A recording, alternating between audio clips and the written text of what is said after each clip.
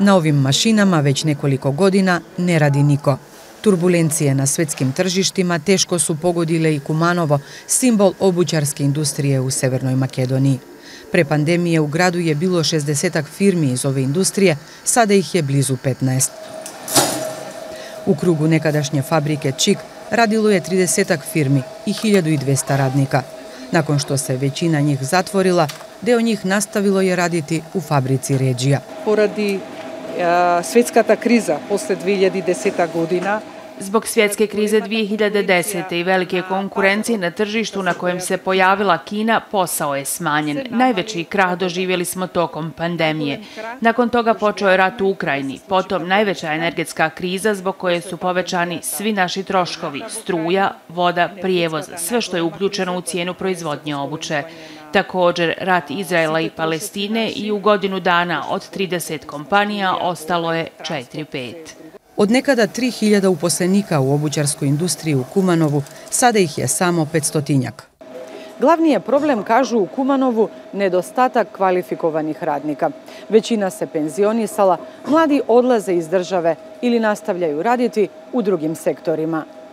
Gradonačalnik Kumanova kaže da su lokalne vlasti i industriji najugroženijim stanovnicima tokom krize pokušale pomoći subvencijama za javni prevoz i komunalije. Mora da se potencira deka generalno ovo je... Mora se naglasiti da je ovo globalni problem u državi, u sektorima gdje je potrebno mnogo radnika. Neke općine, gradovi i određeni proizvođači angažuju radnu snagu iz inozemstva zato što je jeftinija od naše.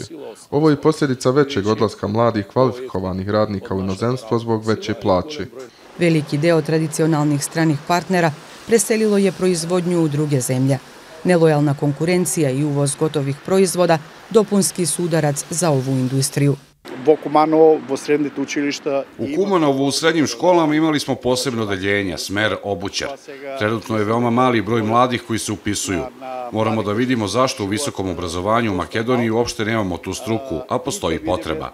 Treba mnogo da se radi, ali mi ne možemo kao lokalna samouprava.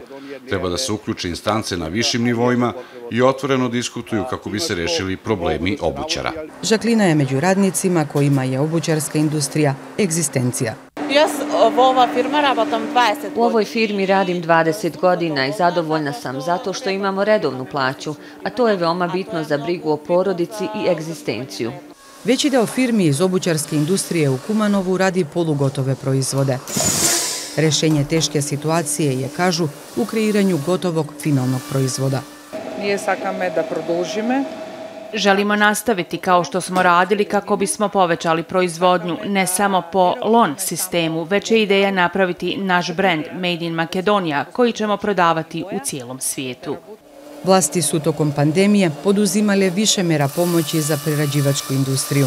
Na snazi je zakon o finansijskoj podršci kompanija. Državni novac mogu dobiti oni koji su povećali proizvodnju, investicije ili uposlili više radnika. Maja Blaževska, Evrosimovska, Al Jazeera, Kumanovo.